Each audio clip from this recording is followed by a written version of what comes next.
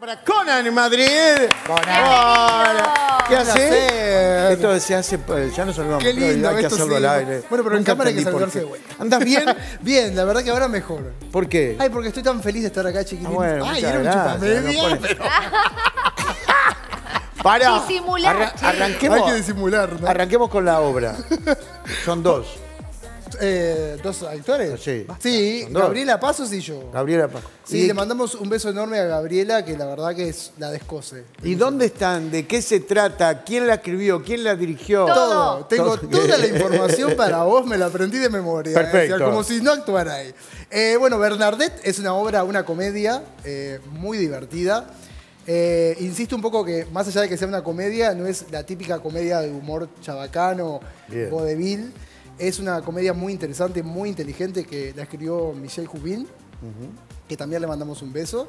Eh, y la dirigió Marcelo Faúndez, que, que es el director estrella nuestro, que ha hecho maravillas con este cuerpecito y Me el, parece y el de. Gabriela. bueno, Bernadette trata sobre la historia de una mujer que tiene 84 años, Sí. pero congeló su cuerpo a los 35. ¿Es? Sí.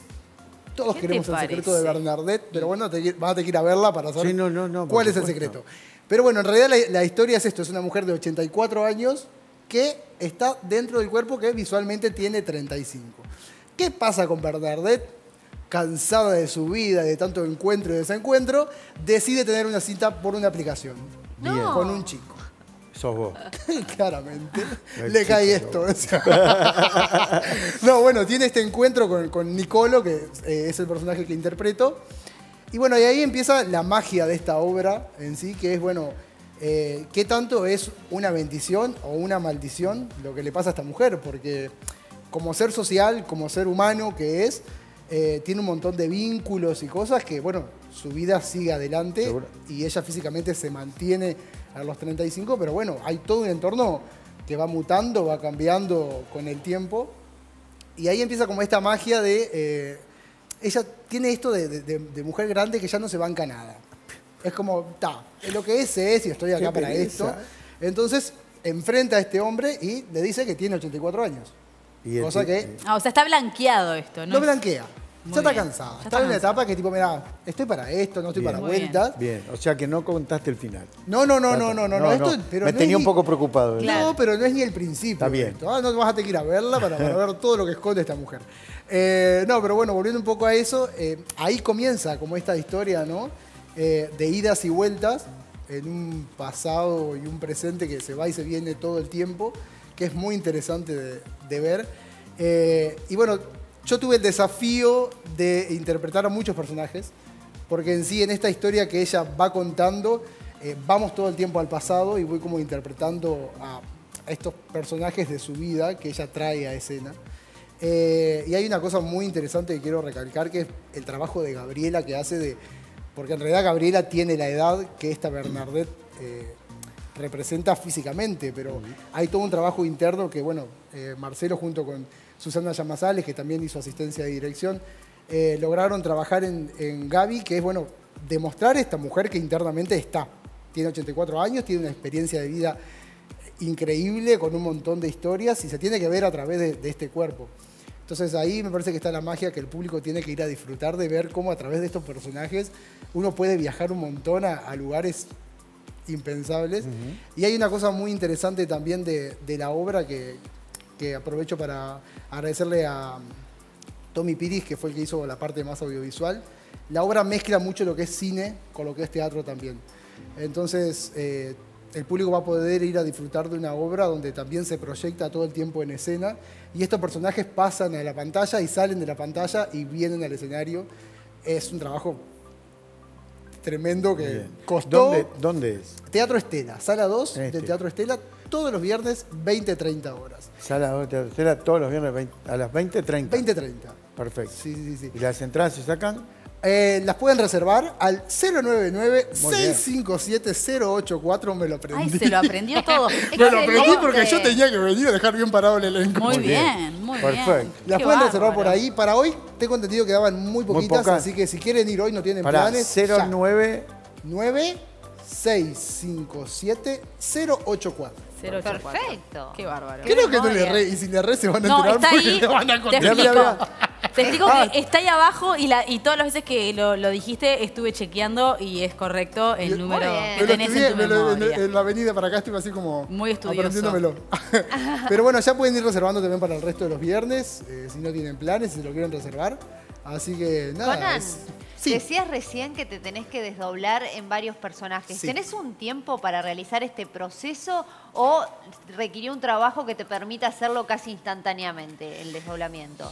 Bueno, vieron que el teatro es muy tuca tuca, o sea, lo que pasa en el momento. Y creo que también es un poco la magia esto de, bueno, para eso hay todo un trabajo previo, ¿no? De más, uno- unos cuantos meses que venimos trabajando. Eh, y no, y es prácticamente en escena. Uf. O sea, es un cambio, de Difícil. repente hubo mucha de- de- decisión de dirección que fue muy inteligente de, eh, con pequeñas cosas, notar que hay un cambio de personaje. De repente sí salgo y entro, pero es solo como un quiebre visual Ajá. de que salí y entré, hecho otro personaje. Eh, Gabriela sí tiene el desafío más de que casi todos sus cambios, más allá de que no cambie de personaje, sí eh, hay una ida y vuelta en el tiempo de muchos años, eh, que también se nota en su forma de hablar, de comportarse, que sí es todo en escena. Ya prácticamente no sale. Eh, yo sí tengo la posibilidad más de salir y entrar, pero muy chiquitito. eh, y tengo algún cambio también en, en escena, pero creo que es la magia de eso, ¿no? De, Sí. de ver ahí, solo hay. También hay un trabajo grande de, de iluminación y eso de que te transporta en el tiempo y a lugares.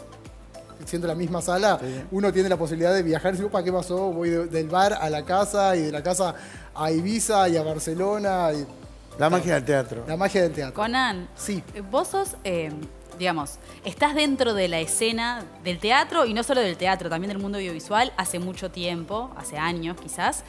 Y me gustaría saber, saliendo un poquito de la obra, ¿qué visión tenés vos hoy de la vida actoral? ¿Se puede vivir siendo actor, digamos, únicamente actor? ¿Vos lo lograste?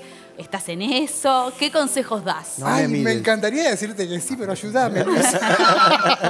Eh, no, yo creo que hoy en día sigue siendo bastante complicado Difícil. la vida en Uruguay. Eh, creo que si bien hemos avanzado un montón, a nivel sobre todo audiovisual, eh, falta un montón de apoyo a nivel actoral.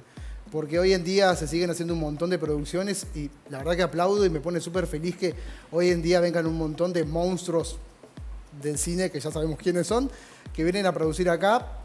Pero lamentablemente no se exige hoy en día que estas producciones tengan determinado número de actores nacionales o demás, como pasa en otros países.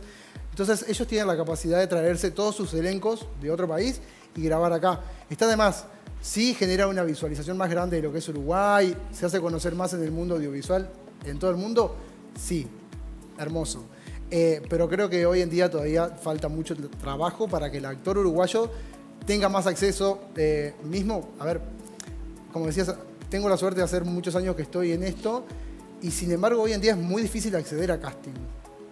De tanto de cine, de películas, es como muy raro, es como tenés que andar atrás todo el tiempo de, che, me enteré que están grabando una serie. Hola. Olis, me gustaría actuar. Eh, y es difícil y es un poco frustrante a veces, pero creo que, bueno, nada, es eso de seguirlo luchando y seguir, bueno, estamos acá. Eh, pero sí, está avanzando, pero creo que falta Todavía un montón falta. todavía de... Hay que volver al streaming. Tenemos que volver, ¿no? Con la Rosy. Eh, claro, Hemos el quedado streaming, juntarnos- Rosina, Rosina Benenati, Natalie Joffrey, señor Conan. ¡Qué trío! ¿Qué te parece? Eh, Se perdieron, eh. Sí, pero tenemos que volver. Estamos ahí en Transativa. Bueno, Y bu- Transativa bueno. se dice. Bueno. ¿Qué interna te contó Rosina de Carballo? Oh. Señores, No, tenemos que ir a la pausa. No, qué pausa ni pausa. ¿Por qué no? Es temprano A todavía. ver qué dice. Bueno, ¿Qué ¿puedo contar? No, ¿De qué? ¿Alguna interna? Ah, no, sí. ¿De qué? ¿De qué? No, siempre me habló maravillas de Luis. ¿De quién? ¿De mí? Sí, Sí, claro. como yo de ella. Enamoradísima. Ah. Enamoradísima, me encanta. No, divina, Rosy, la verdad que sí. Conan, recuerden todos, esto es en la sala 2 del Estela, Sí. preciosa sala, Sí. preciosa sala. Este, no se lo pierdan, eh, van los viernes a las 20.30, 20-30. 20.30 y el número lo tienen ahí, ahí aparece, Bernard, Bernadette, ¿lo dije Y bien? todo el tiempo del mundo. Sí, una cosa que quiero, que Sí. quiero decir solamente eh, eh, es un poco de, también de que vayan preparados a disfrutar de esto de que, bueno, como decía en un principio, es un ser social, es un ser humano.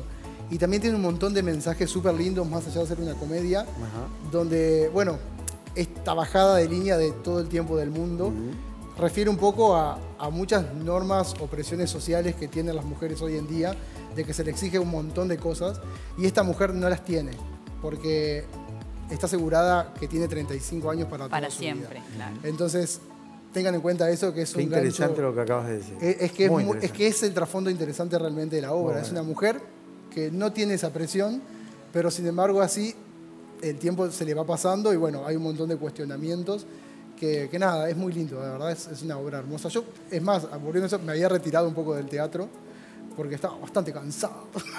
pero... ¿Por qué no te gustaba ensayar? No, sí, me gustaba, pero viste que es Viste cansado. que la típica, la típica, ¿no? ¿No te me había dedicado al cine y estaba así.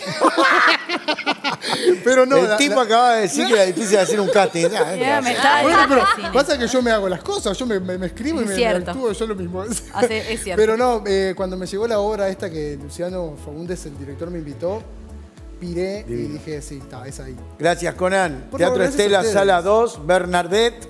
No se lo pierdan 2030 los viernes. Dale.